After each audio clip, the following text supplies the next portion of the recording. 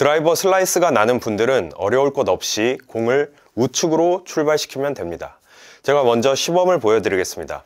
드라이버는 상향 타격이 되어야 하니까 공을 왼쪽에 두죠. 이때 공만 왼쪽에 있는 것이지 우리가 공을 향해 엎어져 있어서는 안 됩니다. 우린 이것보다 훨씬 더 오른쪽에 위치하고 있어야 합니다. 이렇게 드라이버 발사대를 위한 setup이 완성되었으면 타겟의 오른쪽으로 출발하도록 공을 때려보는 것입니다.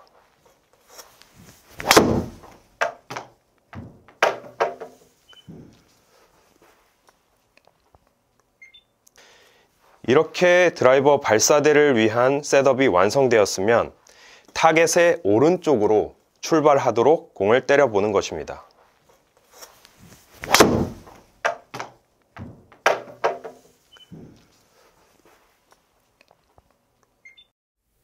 드라이버 발사대 setup 방법입니다.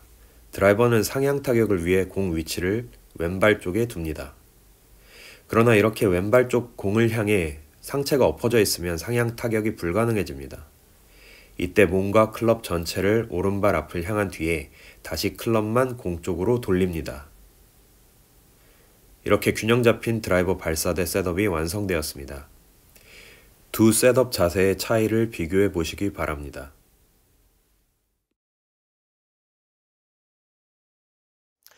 이렇듯 공을 우측으로 출발시켜야 합니다.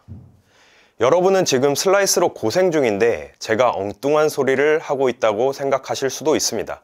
하지만 상상해 보시길 바랍니다. 필드에 나가서 tee box로 올라가서 티 위에 공을 두고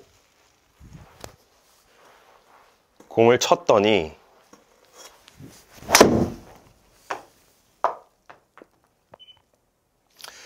이렇게 슬라이스가 나서 오비가 났습니다. 방금 여러분은 공을 타겟 기준 어디로 출발시키려 하셨나요? 방금 제 질문에 대한 대답의 일부는 타겟 쪽이라고 할 것입니다. 하지만 슬라이스로 고생하고 있는 분들은 타겟 기준 왼쪽으로 몸이 자동 반응했을 것입니다. 즉, 타겟 기준 왼쪽으로 치려고 본능적으로 반응했을 것입니다. 평소 공이 오른쪽으로 갈 것을 이미 예측하고 있기 때문이겠죠. 그리고 아마도 타겟보다 우측으로 아까 저의 첫 스윙처럼 타겟보다 우측으로 출발시키려 했다는 분들은 거의 없을 것입니다. 그것이 여러분이 볼에 힘을 다 전달하지 못하고 슬라이스를 내고 있는 가장 큰 이유입니다. 제가 아주 부드러운 템포로 스윙해 보겠습니다.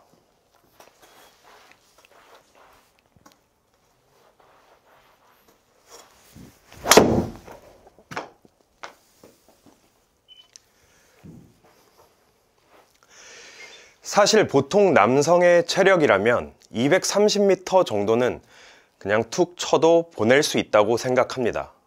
그러나 레슨을 해보면 생각보다 많은 분들이 클럽의 에너지를 공에 전달하는 것에 어려움을 가지고 있습니다.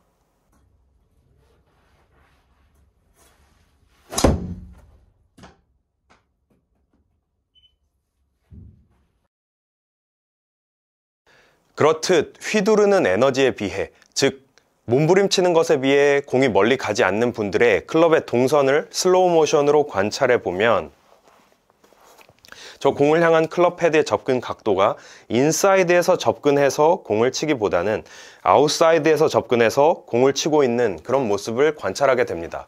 엎어친다고들 하죠. 또 아웃에서 인으로 치고 있으니 인에서 아웃으로 한시 방향으로 던지라고들 합니다. 그러나 지금까지 쉽게 슬라이스가 해결되지 않았을 것입니다.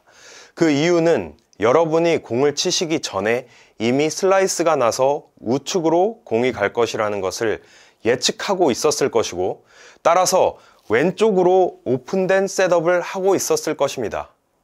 게다가 클럽 헤드는 슬라이스를 방지하기 위해서 닫아서 잡고 있었을 것이기 때문입니다.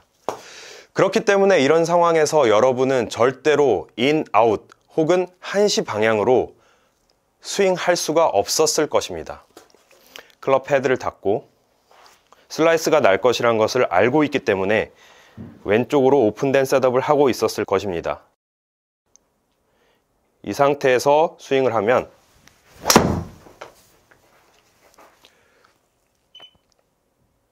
슬라이스성의 스윙이 슬라이스성의 샷이 나올 수밖에 없게 되는 것입니다.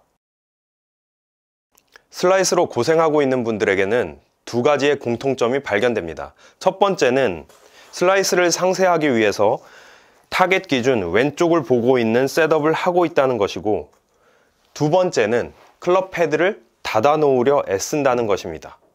그렇기 때문에 공을 향해 안쪽에서 접근하는 스윙을 할 수 없는 것입니다. 오픈된 셋업이 왼쪽을 보는 오픈된 셋업이 틀렸다는 것이 아닙니다. 저도 페이드를 칠 때는 오픈된 셋업을 하게 되어 있습니다. 타겟 왼쪽을 봅니다. 좌측으로 그러나 좌측으로 오픈된 상체 구조에서 오른쪽 방향으로 내치는 스윙을 하는 것은 자신의 몸 구조를 역행하는 것과 같습니다. 그렇기 때문에 파워풀한 스윙을 하기가 어려워집니다. 이렇게 서서 이렇게 스윙을 하는 꼴이기 때문입니다. 게다가 헤드를 처음부터 이렇게 닫아 잡고 있다면 다운 스윙을 할 때 릴리스 할 수 없다는 것을 직감적으로 계산하고 있습니다. 그렇기 때문에 몸과 클럽 모든 것이 꼬여 버리는 것입니다. 해결책을 한마디로 정리하자면 우측으로 출발시켜 보는 것입니다. 첫 번째로 공을 우측으로 타겟 라인 우측으로 출발시키기 위해서 약간 우측 방향으로 셋업을 하는 것입니다. 또한 어차피 우측으로 보낼 거니까 헤드도 엎어 잡지 않으셔도 됩니다. 헤드는 열려 있어야 닫을 수도 있는 것입니다. 그리고 우측으로 출발시켜 봅니다.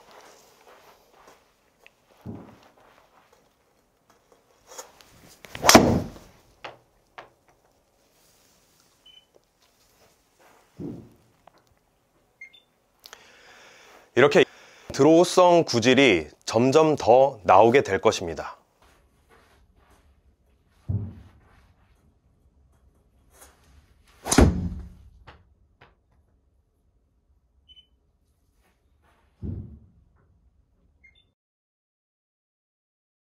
지금 슬라이스로 고생하고 있는 여러분들에게 제가 타겟 우측으로 출발시키라고 말씀드렸다 해서 슬라이스가 더 심해질 것이라고 걱정하지 않으시길 바랍니다.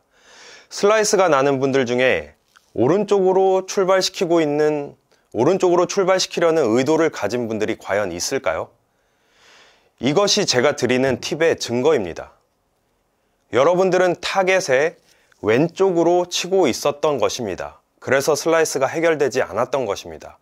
저처럼 발사대 셋업을 하고 헤드를 자연스럽게 열어준 뒤 타겟 오른쪽으로 출발시켜 보시길 바랍니다.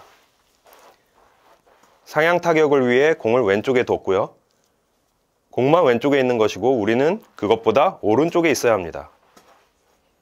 어차피 우측으로 출발시켜야 하니까 헤드는 열려 있는 것이 더 좋습니다. 그리고 타겟 우측으로 출발시키는 느낌으로 스윙하는 것입니다.